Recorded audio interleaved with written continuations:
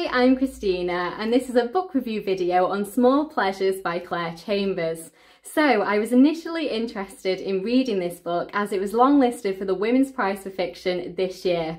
And I've been slowly working my way through that list, reading the books that interest me. And this is the fourth one that I've read. I've also read Exciting Times by Naoise Dolan, Luster by Raven Leilani, and Piranesi by Susanna Clarke. And I have book review videos on all of those, so I will link those down below just in case you'd like to hear my thoughts on those too.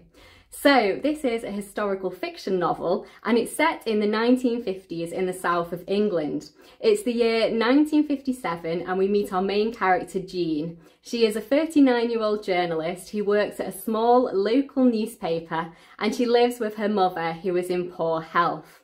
One day the newspaper receives a letter from a woman who claims she had a virgin birth and then Jean starts to investigate this story. And in doing so, she gets very friendly with this family, who consists of Gretchen, the mother, the child in question, Margaret, and her new husband, Howard. So I quite enjoyed this story. It was a very gentle, quiet kind of story, and I quite like that about it.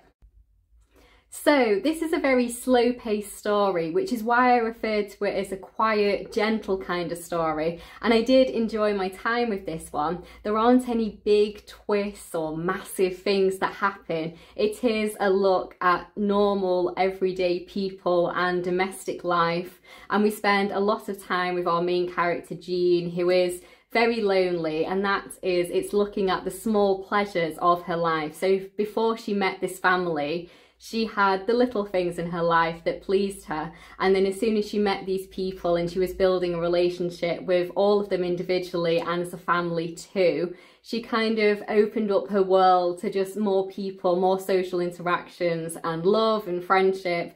And it was really nice to see how that went. And then to see as the story is investigated to see whether Margaret is the product of a virgin birth they go through some tests, they do medical tests, obviously in the 50s. And I obviously don't want to say anything about spoilers or anything like that because it would ruin it for you. But I will say, in terms of it being a quiet story, it was quite an explosive ending for me. It came completely out of left field. We were going along at a very gentle pace, and then near the end, it was like boom, boom, two big things. And I will say, I did predict the ending in the sense of I thought this is probably where it's going to go and it is where it went, but I still enjoyed my time with it. But then the ending that I would say is more explosive, it really kind of cranked it up a notch for me. And I think it made it a much more memorable book for me. I think had it just ended otherwise in a different way, I probably wouldn't remember too much about this book in the coming months or the coming years, but the way it ended has left an impression on me for the better. And I have seen other people's reviews and they very much did not like the ending. Um, so I definitely think maybe it's a bit of a marmite ending for people. I personally liked it. I thought it was very cleverly done. And at the end I went, oh, and that's always a good thing I think um, in a book that can surprise you in that way. I was going through the book thinking there aren't going to be many, many surprises in this at all. I can see where this is going but still enjoying my time with it and then something that did surprise me happened and I just thought it was a nice quiet kind of read. It took me quite a long time to read this book, uh, but I have been very, very busy, so that's not really the book's fault. I think overall I'm going to give this one three stars. I enjoy my time with it, but it isn't going to be a new favourite. It's a good read, and if you enjoy reading books, especially historical fiction books set in like the 1950s in England, I think you'd like it. If you like to see kind of a family dynamic and how a family maybe unfolds over time or all of these different parts of the relationships.